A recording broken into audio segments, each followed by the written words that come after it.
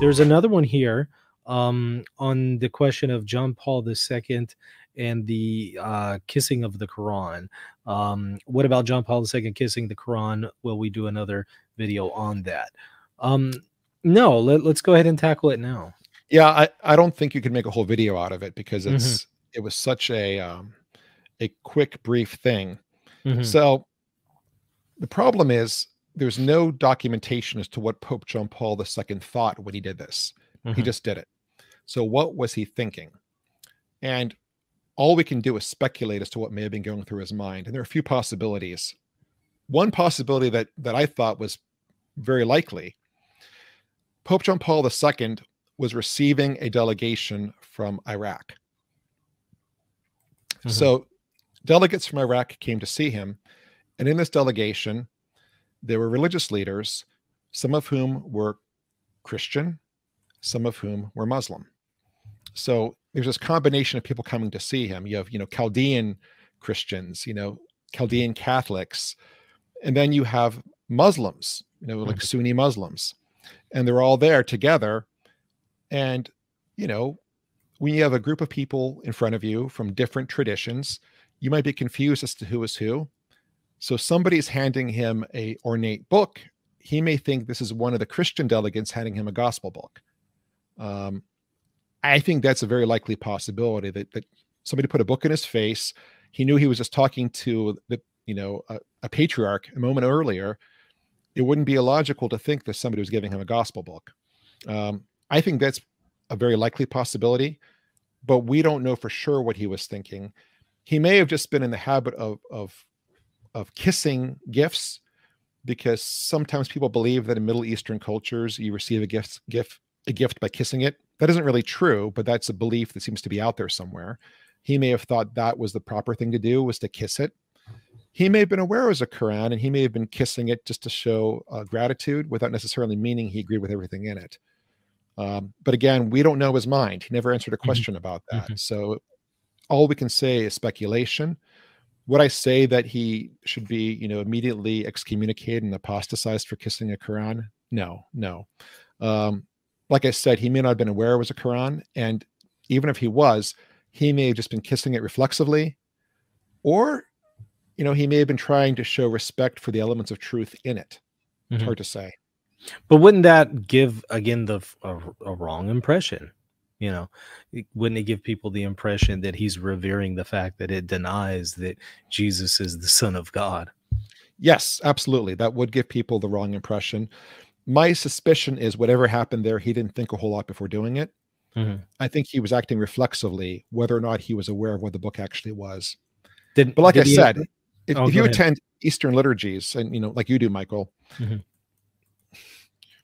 books are put in people's faces all the time right? Mm. Gospel books all the time. Uh, you know, at the Divine Liturgy, at the great, at the little entrance, I come through, and there's a whole line of altar boys and people there, and I, you know, I line up, and they all, I put the gospel book in their faces, and they all kiss it. Mm-hmm. Same thing after reading the gospel, people are kissing the gospel book.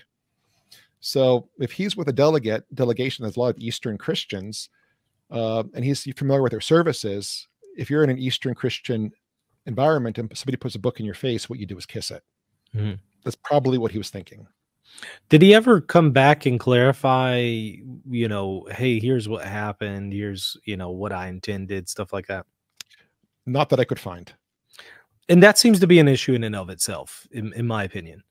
Um, because if he was ignorant of what it was, it would be helpful to come out and say that. And if he wasn't, and he knew it was a Quran, then it would be helpful to come out and say why he still did it. Right.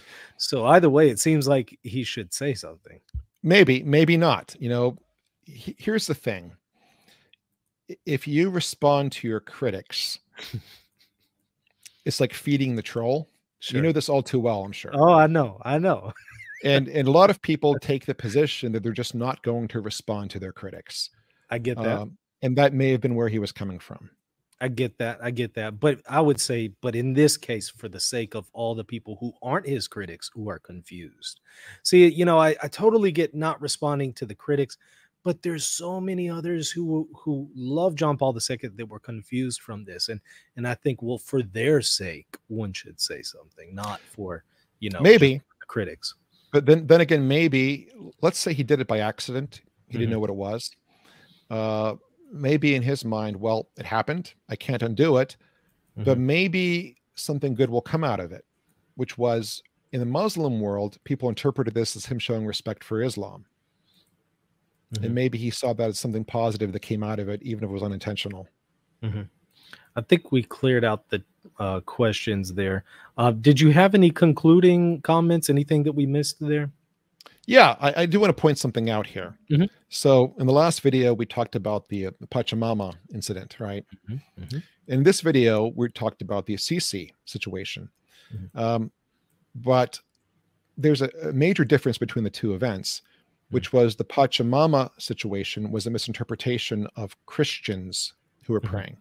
Right. So what we saw with the so-called Pachamama event um, were Catholic Christians from the Amazon praying to our God in a way that seems foreign to most people in the West. And mm-hmm. people assumed it was pagan or demonic. And the story began that it was an idol somebody gave her the name Pachamama. I'm not sure where they even came up with that because it was not Pachamama. I think a reporter used that term and it's kind of stuck. Mm-hmm. But in this situation here, these really were non-Christians. Um, mm-hmm. So, you know, we have to be be aware of those kind of differences. Um, there are situations where there are non-Christians praying to non-Christian deities. There are situations where there are Catholic Christians praying in a way that's Catholic but unfamiliar to us so we have to kind of be aware of which is which. Yeah, Carlos says um, he could have thought it was an Arabic gospel book. It's so obvious. I can't believe I didn't think of it before. I guess that shows my cultural ignorance and how I've been propagandized by pop narratives. I've, I've heard it before too. Um, I just it seems like there's just no evidence either way for what exactly it was and what he thought it was.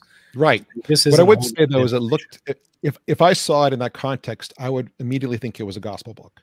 Mm-hmm. That'd be my assumption because it looks just like a gospel book. Hey, thanks for watching. Don't forget to hit the like button and the subscribe button. God bless.